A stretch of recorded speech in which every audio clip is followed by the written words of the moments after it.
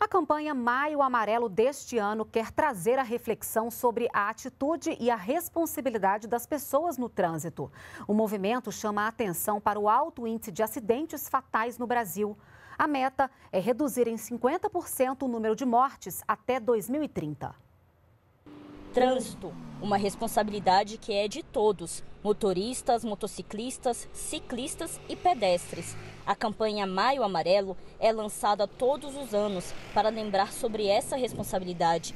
Kits são distribuídos nas rodovias e monumentos são iluminados com a cor de atenção para, mais uma vez, destacar um dado assustador. 30 mil pessoas morrem por ano em acidentes de trânsito no Brasil.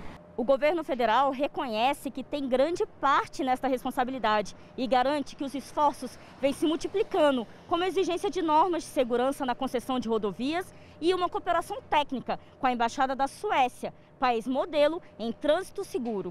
Para nos orientar, para nos ajudar, para é, auxiliar a capacitação dos nossos gestores, instrutores e levar isso para o nosso condutor. Este ano, a campanha também alerta para as regras impostas pela pandemia, novas atitudes que também salvam vidas. A vacina para a pandemia no trânsito é a sua atitude. Confiante de que com planejamento é possível ter mobilidade e segurança ao mesmo tempo, o Ministério da Infraestrutura promete reduzir em 50% o número de mortes no trânsito até 2030. Só conseguiremos ter o sucesso que desejamos e o sucesso que merecemos se tivermos uma divisão de responsabilidade. Essa responsabilidade de todos é o que vai nos fazer atingir os objetivos que foram estipulados.